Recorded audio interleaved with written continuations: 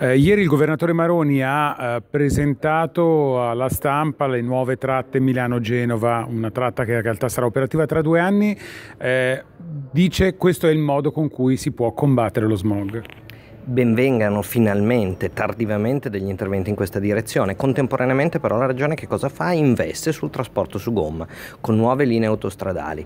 Il percorso tracciato da Maroni, ahimè, non è quello del treno Genova-Milano, ma è quello annunciato all'insediamento della sua legislatura, quando ha detto abbiamo bisogno di nuove autostrade per rendere più scorrevole il traffico. C'è un grave conflitto di coscienza tutto all'interno della testa di Maroni.